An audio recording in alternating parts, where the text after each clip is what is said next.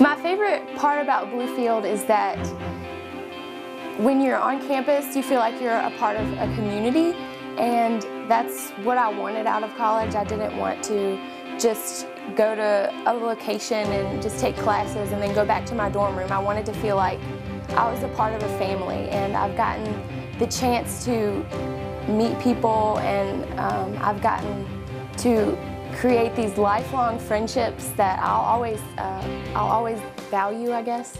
And um, I think if you can leave from a college or any experience a better person and um, stronger and with better friendships, then that's uh, definitely valuable.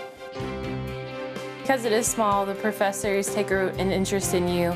And I know if I'm going through something difficult, I could go to any professor and tell them about it and they'll pray with me. And they are always willing to go the extra step for you. I know one class, it was in the evenings, and our professor would cook dinner for us because she just knew we would get hungry. And I really appreciate just small gestures that professors do at Bluefield.